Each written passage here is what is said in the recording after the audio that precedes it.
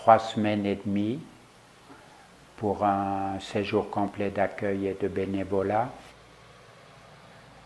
D'expérience, ça semble très judicieux parce qu'on a le temps de se faire à la montagne, on a le temps de se faire à, l'air, à la météo, au temps du col qui passe autrement que le temps de la plaine.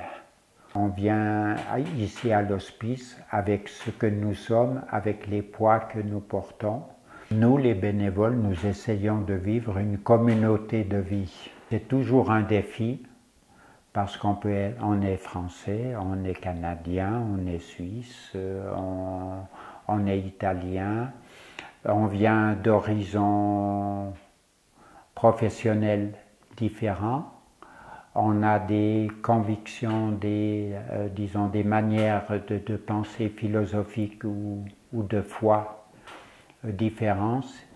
Et finalement, au bout des trois semaines, euh, on, oublie les, on oublie les différences.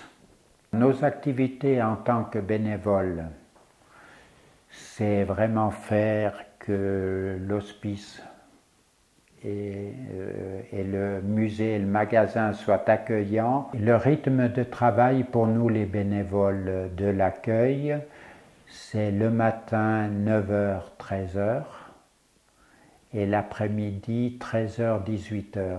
À chaque fois qu'on travaille le matin, donc c'est le ménage.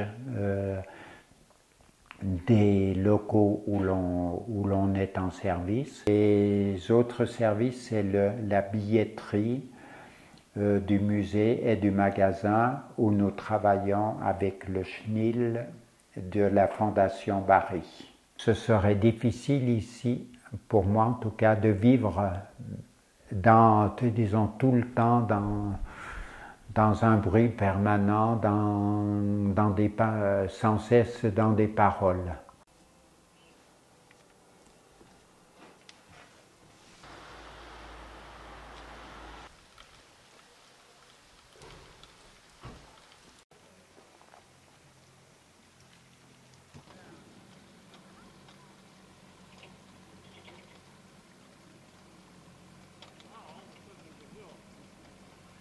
J'ai appris à, prendre ici, euh, disons vraiment, toute la richesse du col, aussi bien dans la nature euh, que dans l'hospice. Je me suis rendu compte que c'était vraiment une nature dynamique, une nature vivante. Paradoxalement, le silence est riche ici parce qu'en fait, quand on se met en silence, on se met vraiment en silence.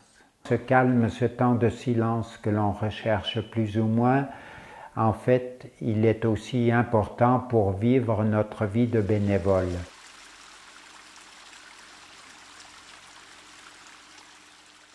Même si ça a été trois semaines pendant lesquelles j'ai travaillé, euh, quand je redescends, je sens vraiment la différence et même euh, mes amis me disent Ah, tu as été au Saint-Bernard.